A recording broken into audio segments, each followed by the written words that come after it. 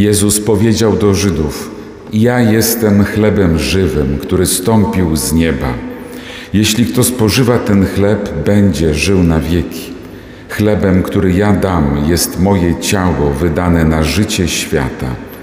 Sprzeczali się więc między sobą Żydzi, mówiąc, jak on może nam dać swoje ciało do jedzenia.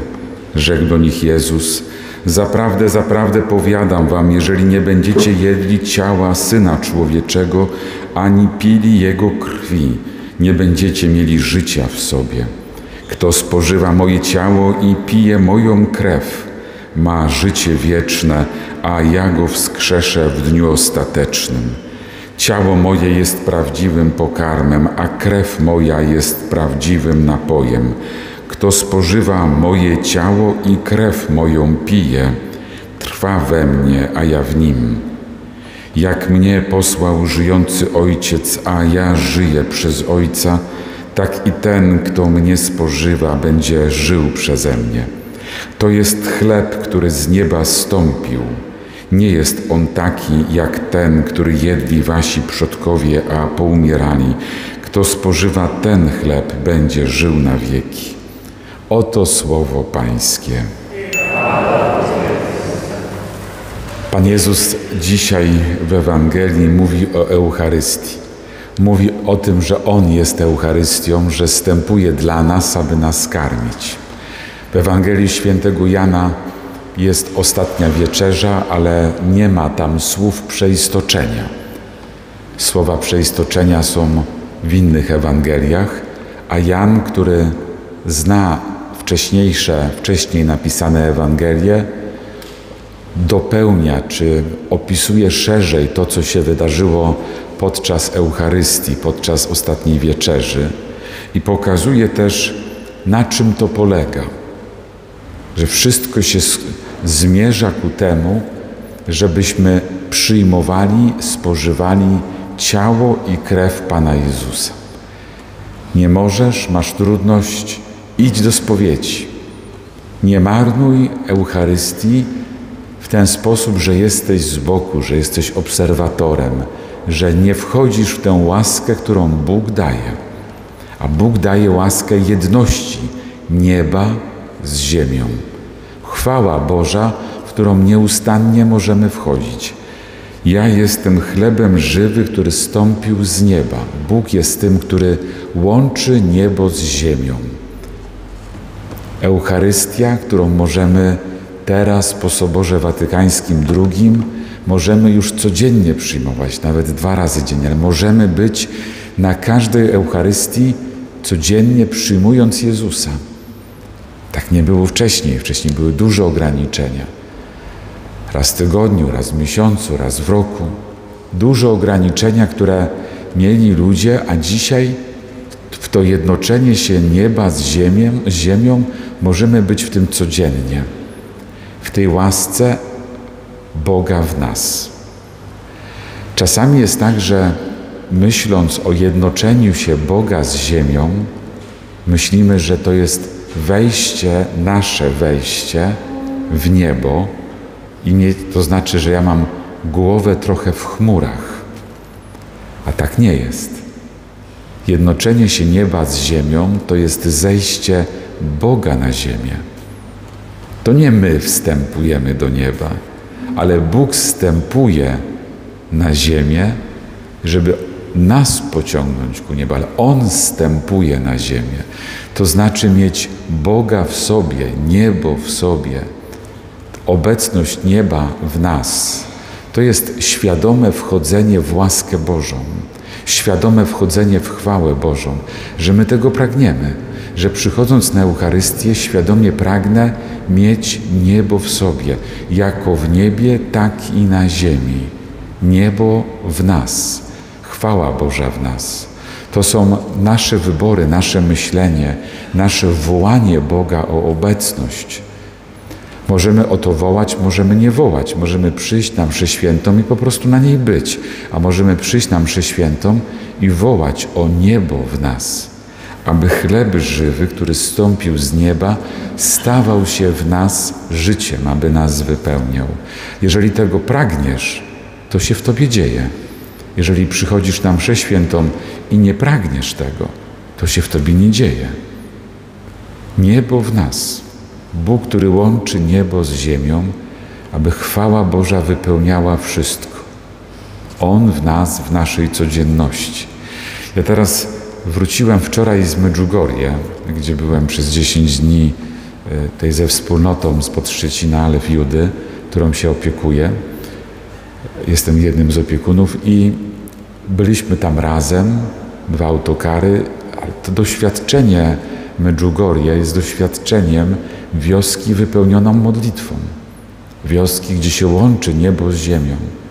Wypełnioną modlitwą, gdzie z jednej strony doświadczamy pasji Boga, pasji Boga, aby zbawić człowieka, aby człowieka nieustannie karmić, aby człowiek się nieustannie spowiadał, nieustannie, czyli wchodził w łaskę Bożą, aby gdy tylko się pojawi słabość, szedł do spowiedzi i żeby się karmił Bogiem.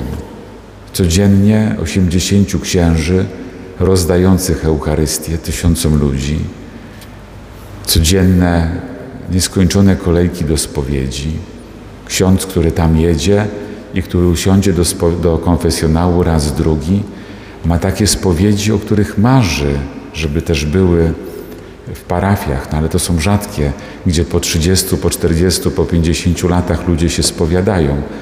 Bogu dzięki, że i takie spowiedzi są, kiedy dzięki Waszej owocnej pracy w końcu ktoś się decyduje na spowiedź. Z Waszej rodziny przy okazji proszenia o chrzest, albo przy okazji skruchy serca. A Medjugorje jest takim miejscem, gdzie to serce kruszeje, gdzie w autokarach oprócz pielgrzymów świadomych zawsze ktoś jedzie tak trochę na wycieczkę, trochę na pielgrzymkę i tam serce kruszeje.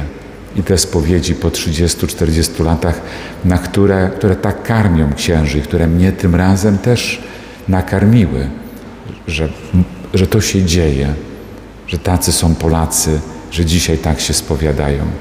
I tam łączy się to niebo z ziemią, chwała Boża przez spowiedzi, przez Eucharystię, przez taką wielką ilość e, osób, które e, są w tej chwale, gdzie nikogo nie dziwi, że w sklepie odmawiamy różaniec, idziemy robić zakupy, chodzimy po chodniku i cały czas mijamy ludzi modlących się, modlących się głośno, modlących się cicho, z różańcem w ręku, gdzie dzień i noc chodzą ludzie po górach, idą na miejsce objawień, idą na drogę krzyżową. Cały czas nie ma takiego momentu, żeby tam było pusto, choć jest ciemno. Ludzie idą na bosaka, ludą, idą, idą, ale z różańcami w ręku. Idą w butach. To nie ma znaczenia jak, ale modlitwa, która wypełnia tę wioskę, non-stop, pasja zbawienia człowieka ze strony Boga łączy się z pasją odpowiedzi człowieka na tę miłość Bożą, że chcemy non-stop być w modlitwie, non-stop być w włączeniu nieba z ziemią, w naszej odpowiedzi, że Bóg jest w nas. I, i, I, mówię Wam o tym, aby tę pasję budzić, abyśmy w gorliwości swojej nie ustawali, tylko chcieli doświadczać nieba na ziemi. Po Szczecinie też można chodzić z różańcem, po każdej miejscowości można chodzić z różańcem. Tylko tam jest ta różnica w Medjugorje, że to nikogo nie dziwi. Nikogo nie dziwi śpiew na chodnikach, śpiew w sklepach, gdziekolwiek idziemy, czy śpiewamy sami sobie pod nosem, modląc się, czy wznosimy ręce. Nie dziwi nikogo, że ktoś przy jakiejś figurze leży krzyżem, czy na placu, czy na mszy świętej. Nikogo to nie dziwi. Miejsce modlitwy, cały czas miejsce modlitwy, w nocy i w dzień. Potrzebujemy budzić w sobie pasję nieba, pasję tego, że my chcemy być ludźmi, którzy niosą niebo, a nas w domach niejednokrotnie przeraża tylko to, że ktoś nam powie, czemu się codziennie modlisz. I nas to zawstydza, jak się, jak się z tym ukryć, jak to przejść, żeby nie być dziwakiem. Czasem się warto wybrać na pielgrzymkę, żeby zobaczyć, że to nie jest dziwactwo, tylko z różnych języków e, różni ludzie e, karmią się cały czas Bogiem, są w Jego obecności, gdzie nikogo nie dziwi normalność nieba, nieba dookoła nas. Bóg staje się człowiekiem, stał się człowiekiem, On przyszedł, jest chlebem żywym, który stąpił z nieba.